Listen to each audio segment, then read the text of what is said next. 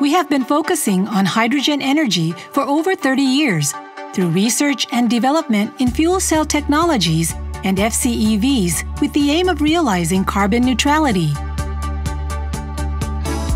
This led us to develop the new fuel cell system in collaboration with General Motors. The new system is more than twice as durable as the conventional type. The low temperature resistance performance has also been greatly improved.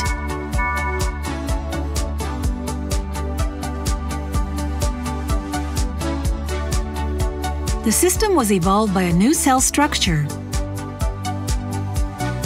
The cell is formed by three plates, two bipolar plates, and a unitized electrode assembly. Simple structure has been realized by integrating flow channels on bipolar plates.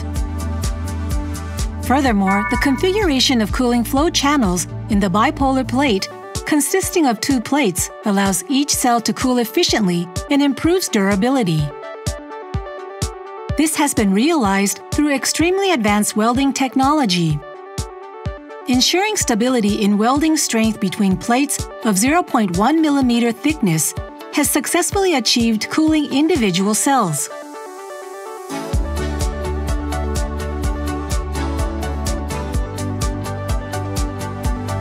Hydrogen and airflow inside the stack on both sides of the unitized electrode assembly and the heat generated during power generation is removed by the cooling water inside the bipolar plates.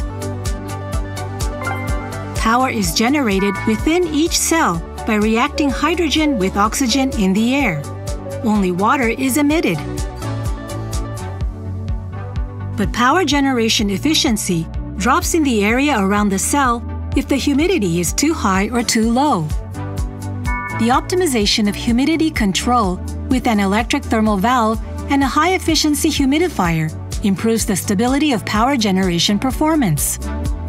This also prevents cell degradation and improves durability. New fuel cell system evolved through a variety of technologies.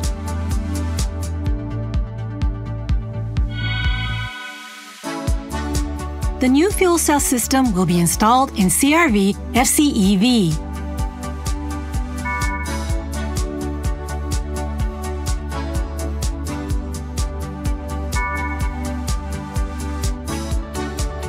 CRV FCEV with the new fuel cell system that achieves clean and powerful driving, realizes carbon neutrality,